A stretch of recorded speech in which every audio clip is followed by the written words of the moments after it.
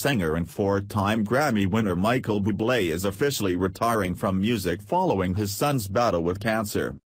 The announcement came Saturday in an interview with Daily Mail magazine. Bublé told the news outlet, I don't have the stomach for it anymore. The celebrity narcissism.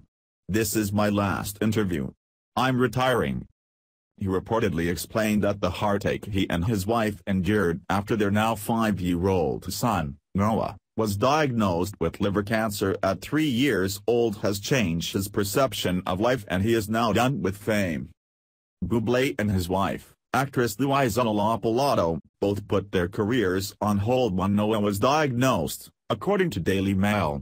The couple, who had a third child two months ago, moved to the United States with their family so Noah could undergo treatment. After a two-year battle, Noah is in remission, according to the magazine. Bublé told Daily Mail that with his new album, Love, releasing soon, it's the perfect time to step away from music.